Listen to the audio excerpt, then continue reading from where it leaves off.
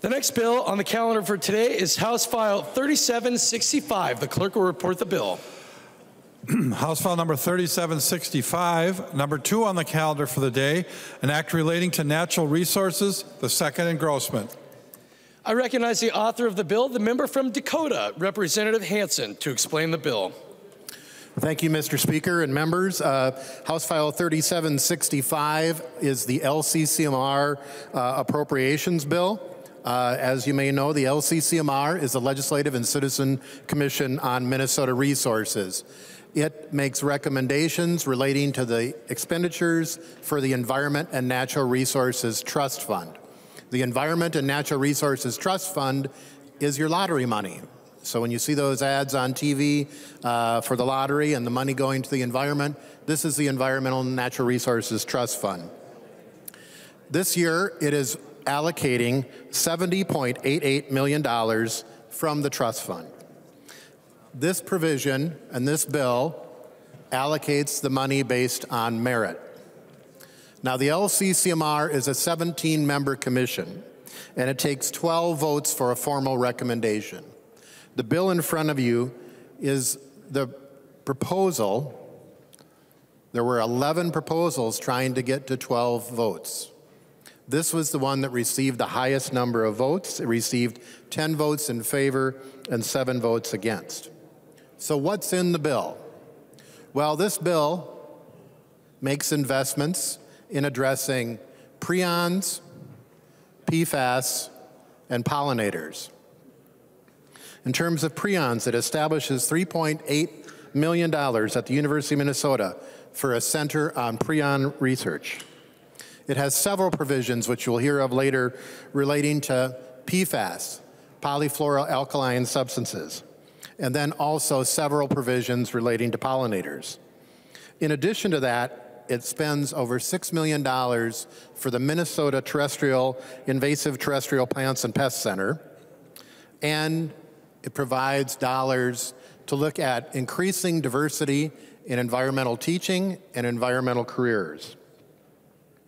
Beyond that, the Environment and Natural Resources Trust Fund provides money for state parks and trails, scientific and natural area acquisitions, local projects, uh, native prairie stewardship, and prairie bank state acquisition.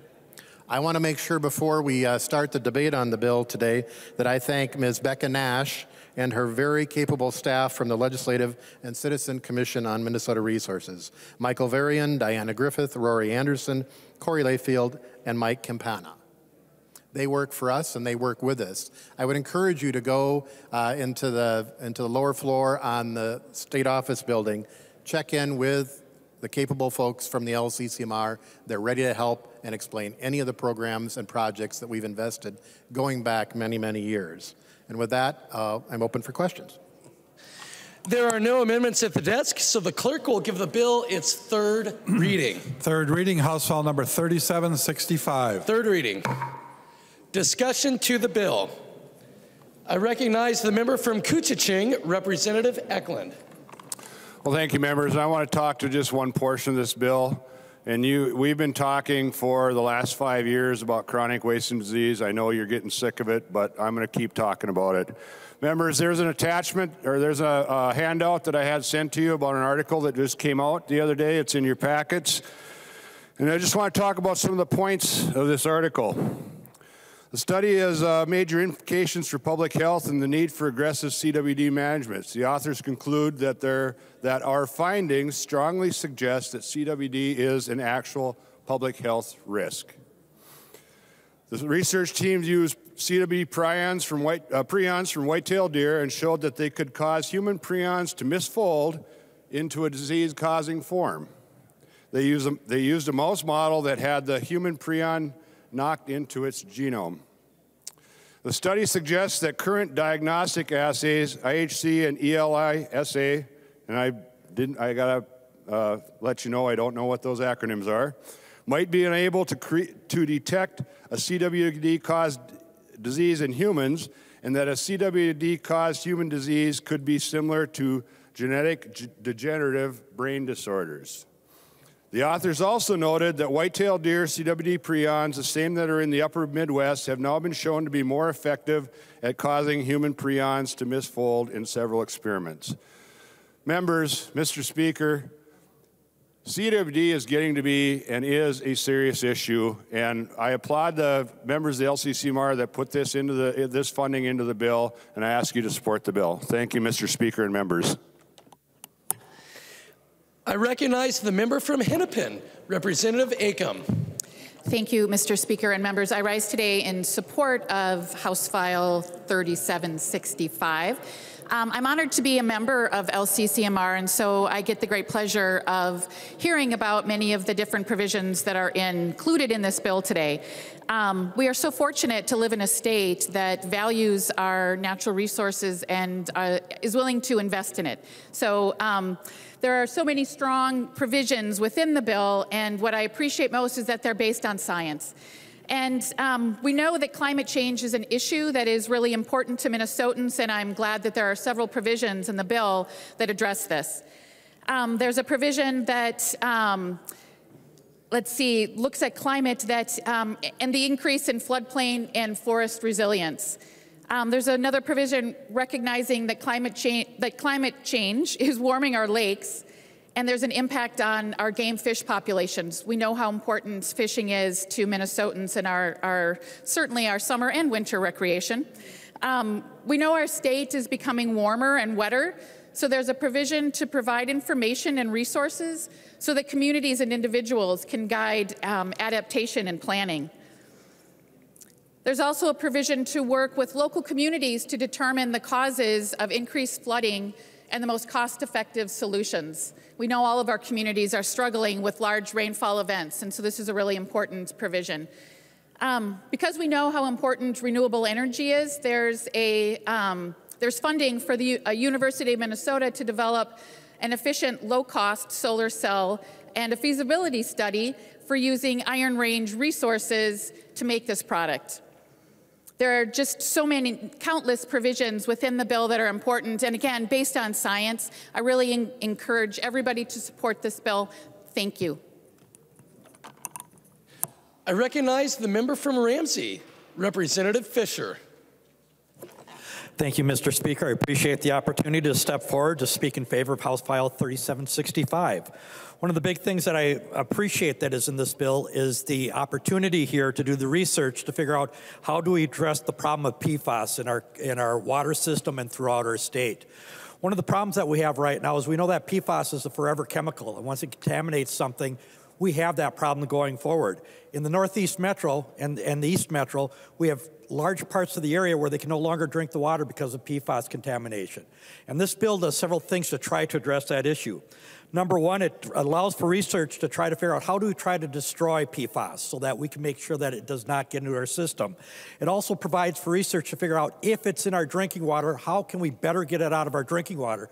Because right now we've got an East Metro community that one of the contributing reasons that they cannot do any more building or construction of new housing is because their water is so contaminated with PFAS, they don't have enough clean water to provide for new housing units. Uh, another thing that this does is it takes a look at the system is how can we make sure that PFAS is not entering the system? Taking a look, how is it in the plastics? Where is it entering our sources? And trying to get it removed at that point in time. So by supporting this bill, we're supporting a way to do the research to get PFAS, a forever chemical, out of our system and protect our water supplies out there. So I ask for everyone for a green vote to help combat the problem of PFAS. I recognize the member from Hennepin, Representative Morrison. Thank you, Mr. Speaker. And I rise in support of House File 3765, the 2022 LCCMR appropriations bill. I want to thank Chair Hansen for his leadership in the Environment and Natural Resources Committee, of course, and specifically in carrying and championing this bill. We're all well aware by now of the precipitous decline of insect and pollinator populations and the catastrophic ramifications of those declines if they are not addressed and curbed. It's critical we support creative problem solving to address the many challenges we face in regard to protecting our natural resources, land, water, climate, and pollinators. And this LCCMR bill has provisions that do all those things.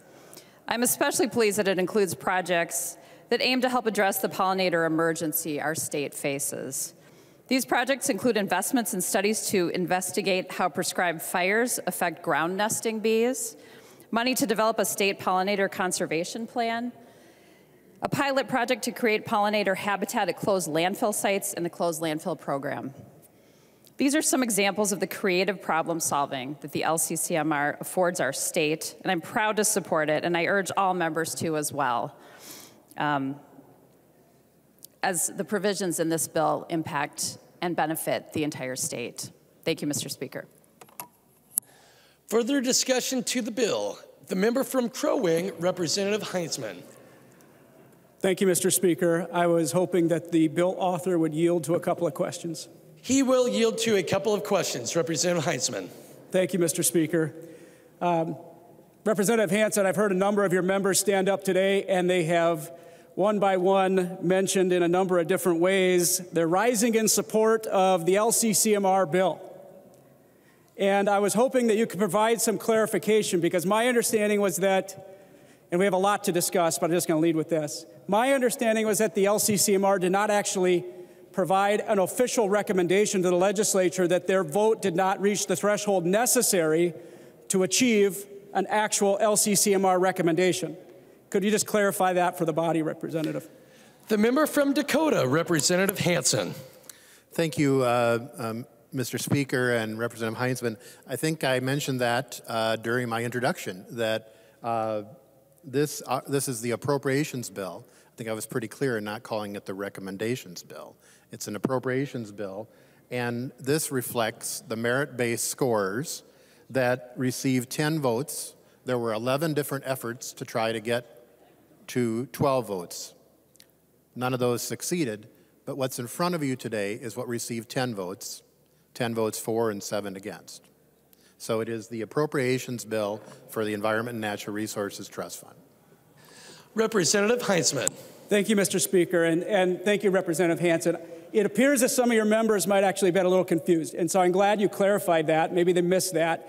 I wanted the body to know uh, just as you stated in your earlier remarks and then restated just now, that this is not the official recommendation as the, the, the statutory or the requirement of the LCCMR group in providing recommendations to us.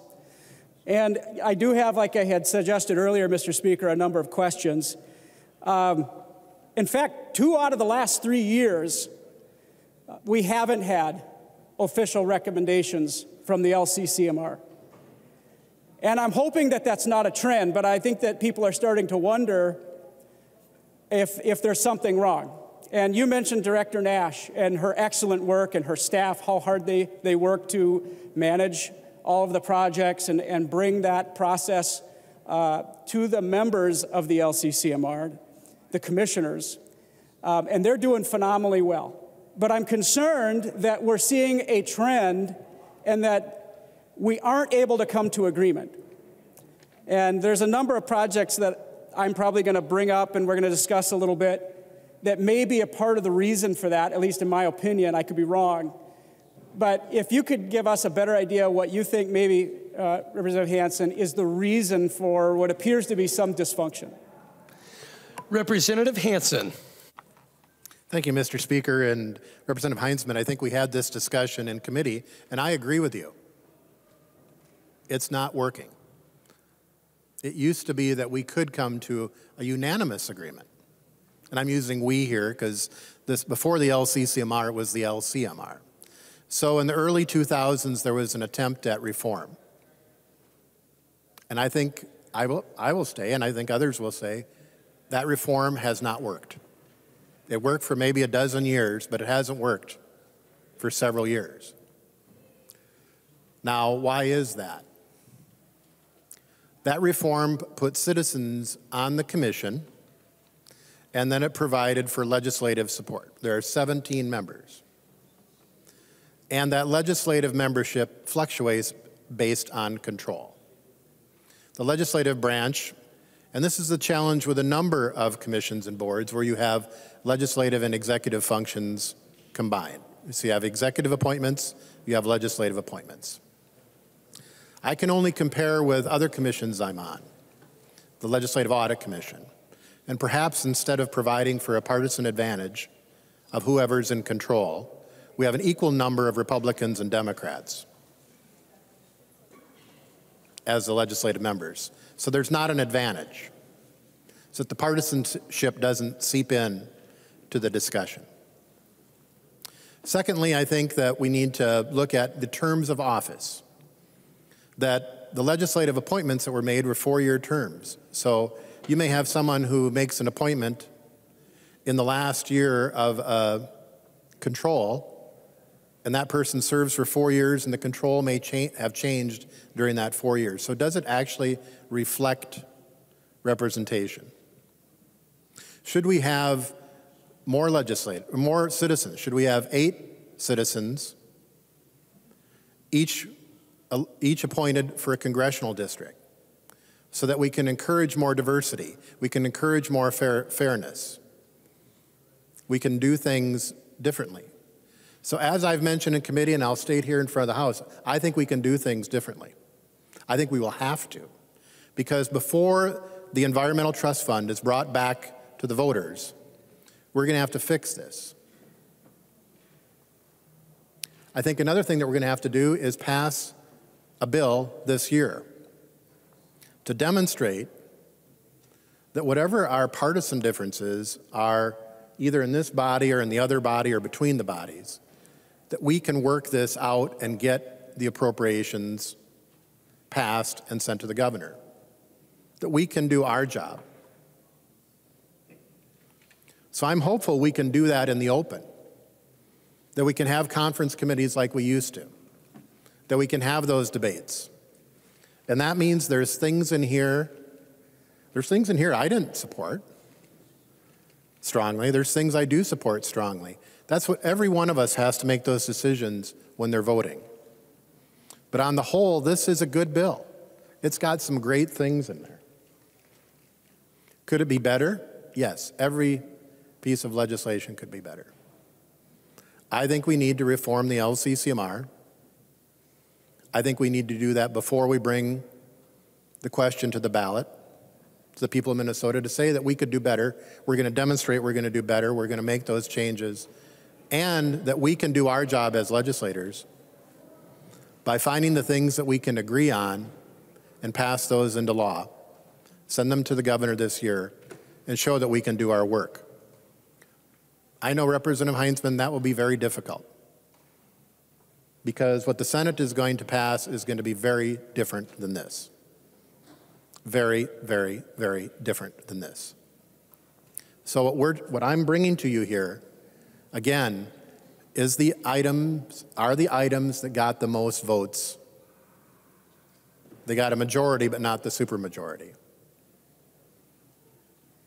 And maybe the supermajority was too much to ask in today's divided climate. But it's what we have right now, and I think it demonstrates to us we can do things differently. Representative Heintzeman. Thank you, Mr. Speaker. And, and thank you, Representative Hansen, for the answer. Uh, we definitely agree that we have a, a challenge in the organization of how the LCCMR bill is created. And I think we both have some ideas as to what we might do to help restore uh, a presentation potentially being able to continue to come to the legislature, because maybe without that, uh, we could be looking at a continuation of a trend. And that, that's going to quite honestly do, just as you were describing, create a scenario where Senate's going to have their version. Representative Hansen, you have your version of what you think the bill should be. And that's a recipe for gridlock. And that's really unfortunate because we're all looking at things that we like, and, and I'm going to point out a few of those things just as some of your members did, Representative Hansen, and some things we don't like. And we'd like there to be able to be all green on that board.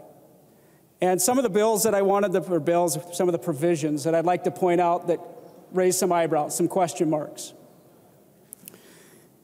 Uh, for example, uh, line 2.8 through 2.17 we see efficiency of urban archery hunting to manage deer, $300,000. I mean, maybe that's something that we need, but it does raise some eyebrows. We have uh, on lines 3.21 starting through 3.32. Status of Minnesota blueberries and related berry species, almost $200,000. I mean, I'm sure there's folks that aren't real uh, clear on what processes affect blueberries, but, you know, it just, again, I'm not totally clear on, on how that, uh, how that uh, is deserving, and, and maybe there can be some explanation, but I'll continue. Lines 4.10 through 4.15. Offal wildlife watching. For those of you at home, I think that might be gut piles. How do hunters' uh, provisions impact scavengers? Uh, maybe, maybe that is a almost 500,000 project, $500,000 project that we have to have, Representative Hansen. I'm not sure.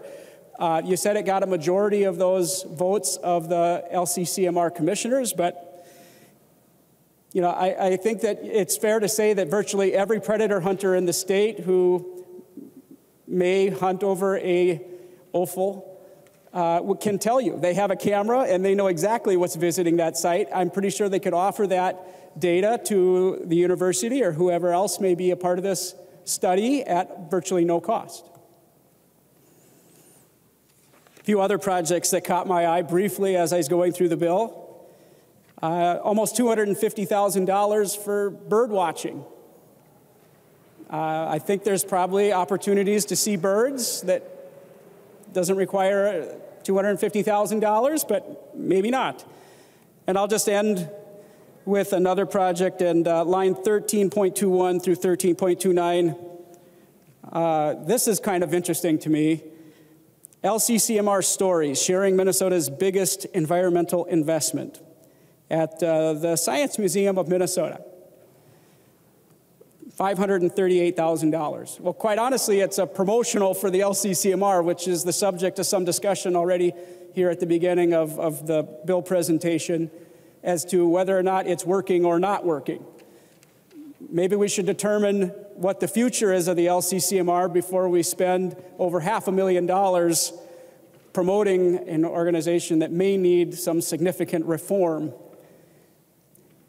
those dollars aren't going towards the projects that I think both you, Representative Hansen, and I really appreciate seeing that affect the environment and natural resources subject area, and that I think that the folks that supported the creation of the Environment Natural Resource Trust Fund and its ongoing efforts across the state were envisioning was a promotional for what may be a question mark as to whether or not this form, this form of uh, distribution of dollars and projects and so on and so forth is actually working.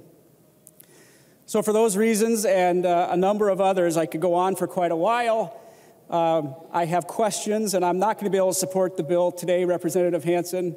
Um, I do share in uh, some of the conversation we brought up projects that work on uh, work on CWD, uh, the creation of, of a lab to work on and study that issue in Minnesota. I think that's brilliant. It's a great idea. We need more research before we're enacting more regulatory uh, statute and figure out what the solutions are. I think that's a great idea in this, in this legislation, but it unfortunately doesn't outweigh some of the question marks. And I, I, I hope that when the bill comes back and you're able to negotiate something that you, uh, that, rep- that you, Representative Hansen, and, and those others uh, in the other body can agree on with the, in the conference committee. I'm assuming that will be formed. I'm hoping that it's something that I can support at that time. So thank you, Mr. Speaker. Third discussion to the bill. Representative Green.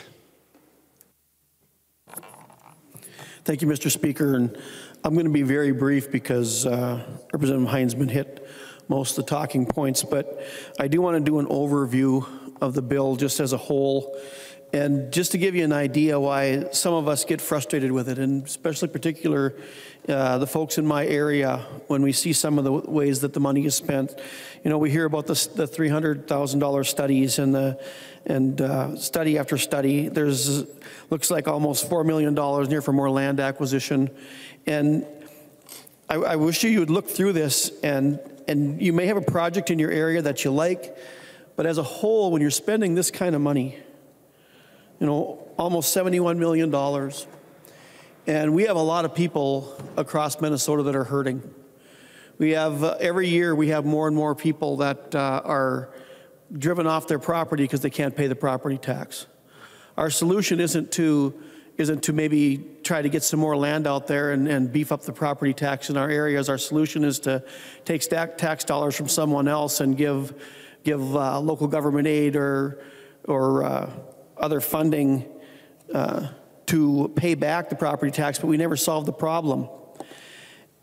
We have folks out there dealing with the inflation now and that are going to the grocery store and can't buy half the food they used to buy.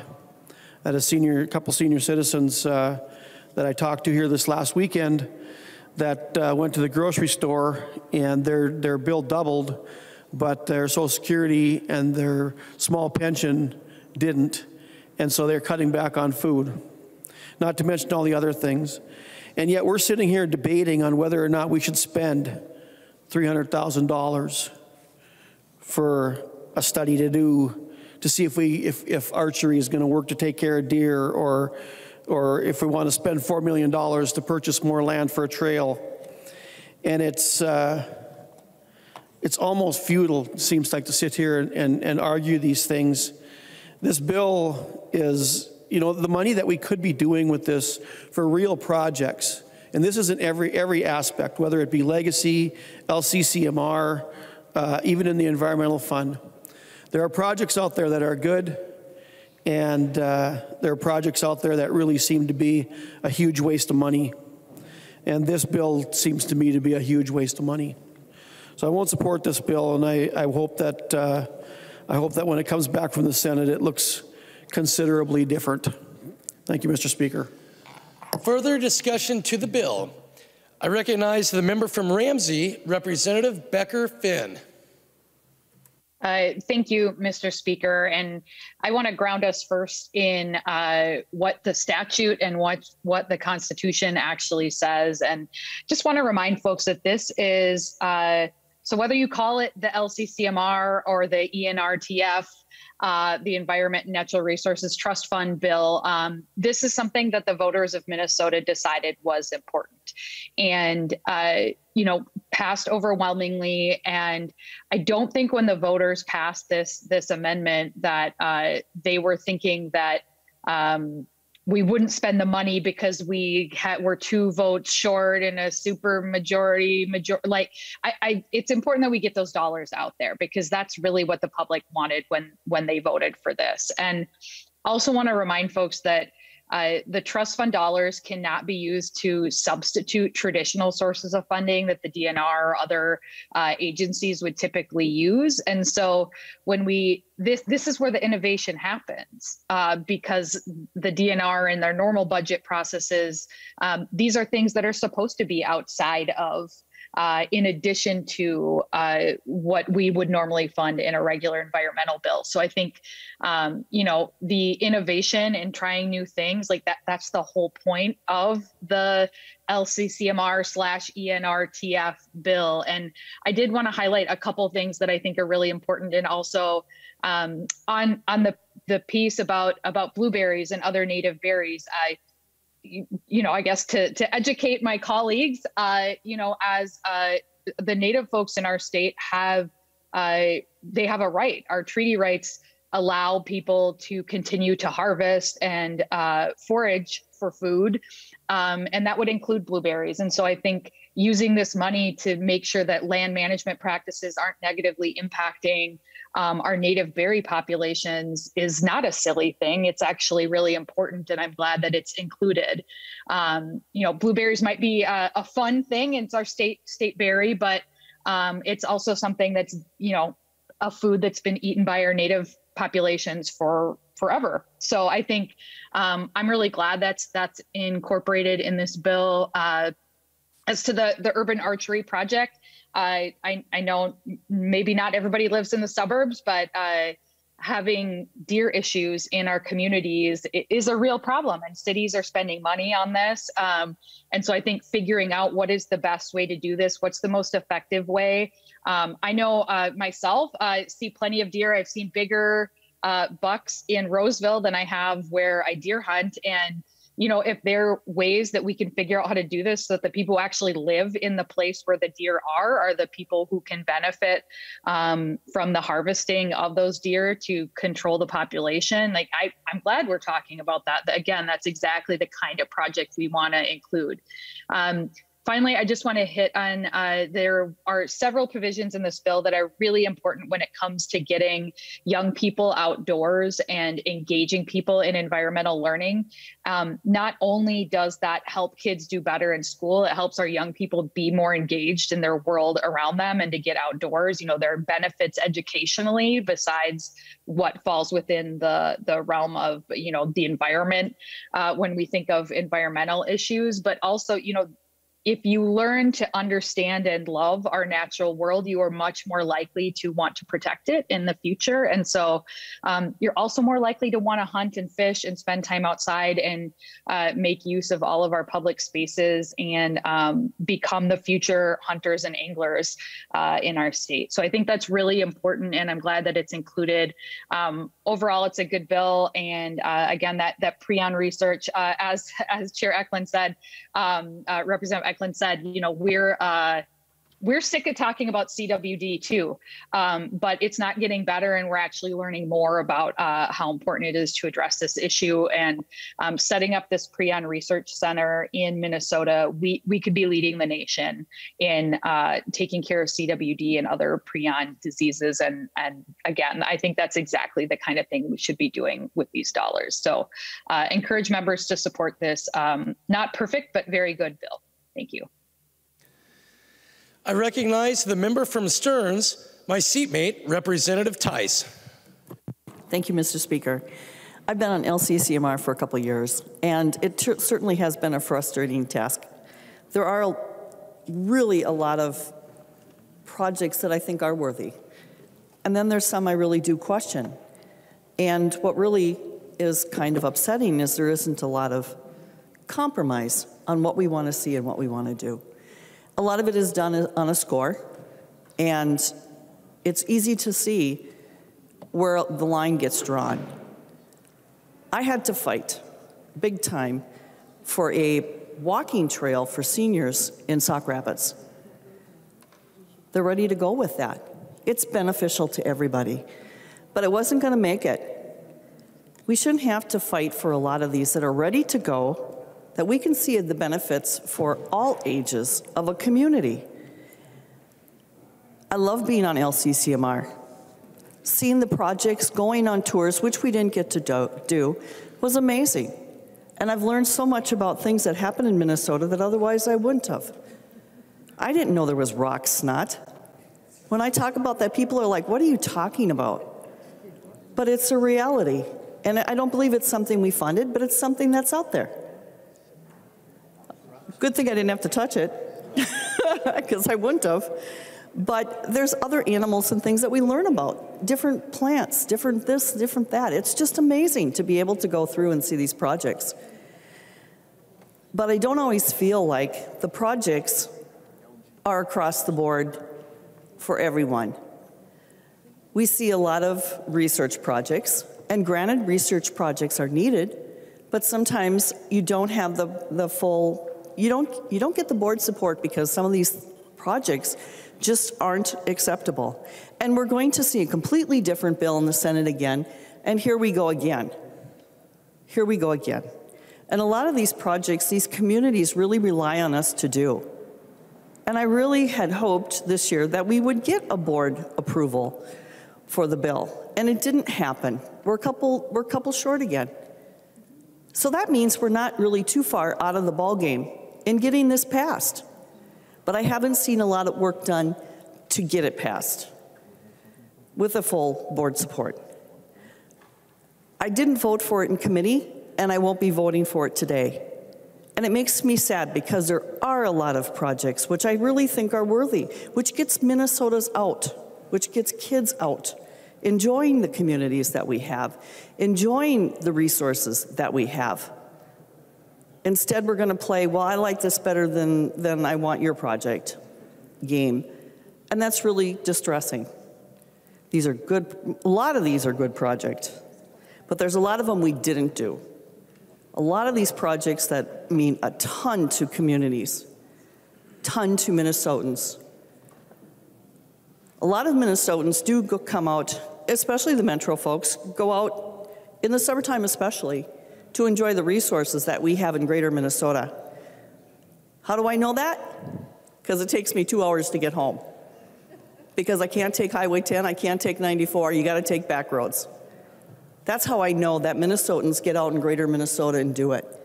And sometimes I feel like some of those projects aren't funded because it isn't for the metro area. Well, guess what? A lot of these are for all Minnesota. A lot of these are for all Minnesota. So, as I said before, I'm disappointed I'm not going to be voting for this, but I do hope that when it comes to conference committee, that there is a way that they can find a compromise and that we can fund the projects that mean the most for all Minnesotans. Thank you. Further discussion to the bill. I recognize the author of the bill, the member from Dakota, Representative Hansen. Thank you, Mr. Speaker and member. I think this is, members, this has been a good discussion. I do want to respond to just a few things before we vote. Um, you know, when Representative Heintzeman asked me about one of the challenges, or what are the challenges in terms of the actual process, what has happened over the last several sessions is there are more and more capital investment projects that are coming into LCCMR. Let me be clear about that. There are more and more projects, capital investment projects, that are coming into LCCMR. Now, why that is, I don't know, but there are more and more of them that come in. Those are, could be referred to as projects in your district. And so it becomes a me versus the we. So the bill in front of you is scores, the 17 members scoring it. There's things I like that didn't get scored high, and there's things I don't like that got scored high. But we've all gone to school. We all get a passing grade. And that's what's in front of us. We're going by merit, we're going by those scores. Now, what the other body is doing, they threw out a number of projects and put in things that didn't even have a bill, or they're going to. That's what's in their committee. Maybe they'll correct, maybe they'll have an opportunity to change in the floor. But there's things that weren't even presented to LCCMR that are going to be voted on in the Senate. There are things that weren't even bills that are going to be voted on in the Senate. There are projects, even Representative Ecklund, this Prion project, they cut that in the Senate, right? They cut money from it. I want to go through some of the individual items. Uh, oh, and Representative Green, I was ready with the, I thought you were going to ask for the number of acres, so I actually have those. So since uh, since we did the research, I just wanted to get it on the record. Uh, state parks and SNAs, 266 acres. Local park grants, so those aren't the state system, those are local parks. 89 acres, and then easements. So those are folks who are still paying property tax. You're buying uh, some of the rights for that uh, through RIM, 2,287 acres. Those state park and trail acquisitions, many of those are called in holdings. So in holdings, you may have, just think of a square, and maybe within that square, there's a piece of property that's still privately held, and the owner's trying to sell it. Or maybe it's the heirs of the owner, and they want to sell that property. But they can't sell it unless we buy it. It's within the state park lines. So this in holdings, that's where the money goes. State trails, many of you have come forward with bills for designating state trails. That's the first step in having a trail. And then you have the acquisition that occurs. So you may have trails throughout the state that are missing a piece. You have a landowner just waiting to make that sale. Well, it takes the money dedicated for those trails to connect those trails. You can't use the trail if you don't have the connection on the state designated trail. Local parks, again, that's a way to get some money to your local parks, not just the DNR. Efficacy of urban archery. I want to go back to the very important thing that Representative Ecklund said. We are going to have to have more intense deer management in urban areas as CWD spreads into urban areas, suburban areas, and other rural areas around the state. So rather than relying on anecdote when we're making decisions, and if any of you have ever been to a town meeting about bow hunting in a suburb, you know that it is a very critical issue that lots of people get involved in. So evidence is important. Not hearsay, not anecdote, not of what I heard from somebody, but evidence. And that's why the science is important. Blueberries, Representative Becker Finn highlighted that. But again, the genetic diversity of our wild blueberries is important. Without that diversity, without understanding that diversity, they can be susceptible to disease. If you have a very narrow, very narrow line of blueberries and a disease comes in, it could be wiped out with devastating impacts. Gut pile watching. You know, and I know many of you did not run here to be talking about gut piles. But, again, back to CWD. There is evidence that scavengers can move CWD. It may not affect them, it may affect some of them. But evidence is what we need.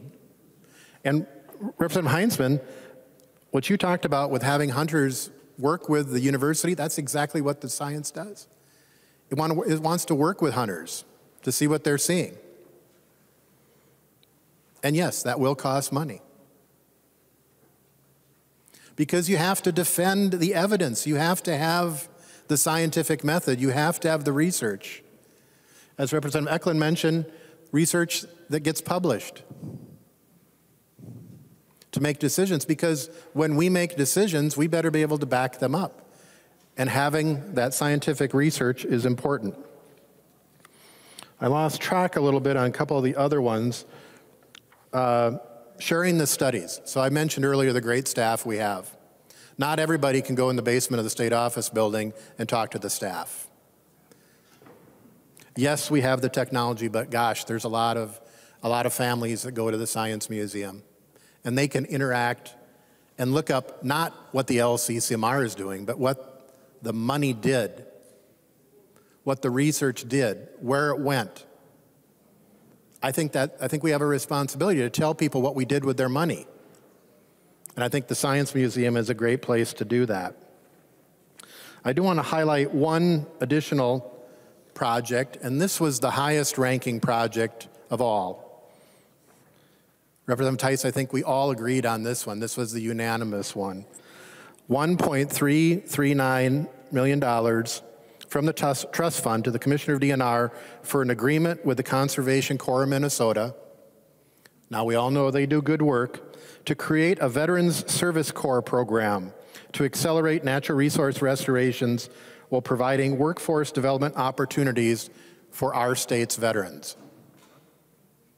That was the highest ranking project. That's in this bill. Over a million dollars. So we can point out the things we don't like. We could do that in any bill. But I'm asking you to consider the things that are good in here. There are things that are great in here. Prions, pollinators, PFAS, issues we've been dealing with a long time. Just because they've been in front of us a long time doesn't mean we've solved them. But this problem solving bill helps. And I'd ask for your support as we go into conference. I know some of you won't vote for it. I'm asking you to consider it. Look at it, read it, and vote green for this environmental trust fund appropriation. Seeing no further discussion, the clerk will take the roll.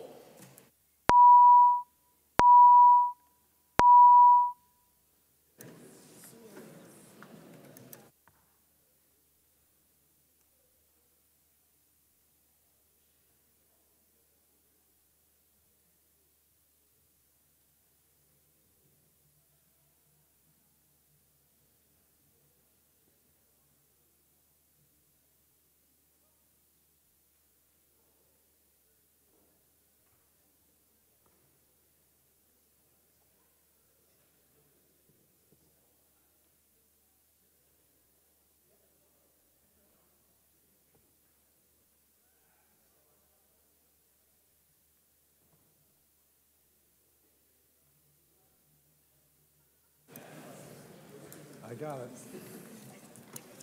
Will the clerk please call the names of members who have not yet voted? Davids. Davids votes no. Davids, no. Feist. Feist. Aye.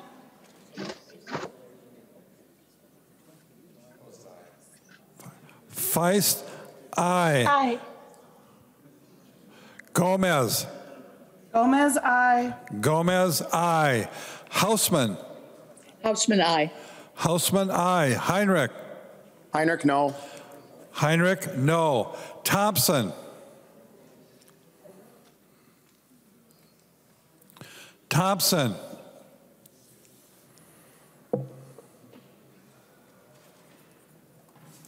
Thompson.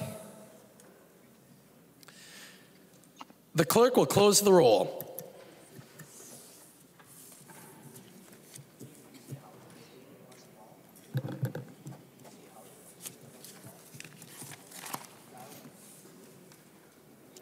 There being 72 ayes and 60 nays, the bill is passed and its title agreed to.